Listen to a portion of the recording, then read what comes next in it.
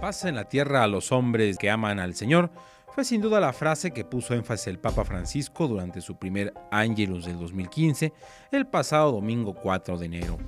Y es que los conflictos bélicos fueron parte de la reflexión del pontífice, quien recordó que debemos convencernos de que la concordia es siempre posible y advirtió que no hay futuro sin propósitos y proyectos de paz. Dobbiamo convincerci, nonostante ogni contraria apparenza, che la concordia è sempre possibile, ad ogni livello, in ogni situazione. Non c'è futuro senza propositi e progetto di pace. Non c'è futuro senza pace. Y pidió invocar a la Virgen María, que vivió dificultades, pero nunca perdió la paz en el corazón.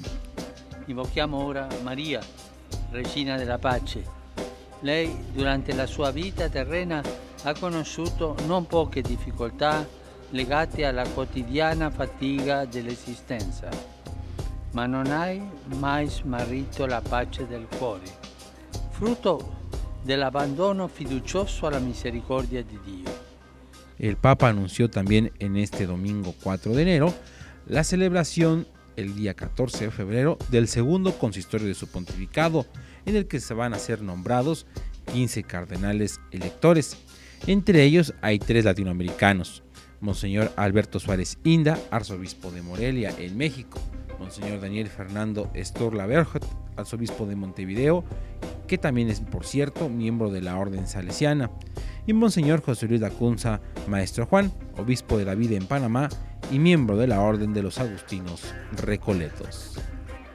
Il prossimo 14 febbraio avrò la gioia di tenere un concistoro durante il quale nominerò 15 nuovi cardinali che provenienti da 14 nazioni di ogni continente manifestano l'inscindibile legame fra la Chiesa di Roma e le chiese particolari presenti nel mondo. Monsignor Alberto Suárez Inda, arcivescovo di Morelia, Messico. Monseñor Daniel Fernando Sturla Beroet, arcivescovo di Montevideo, Uruguay.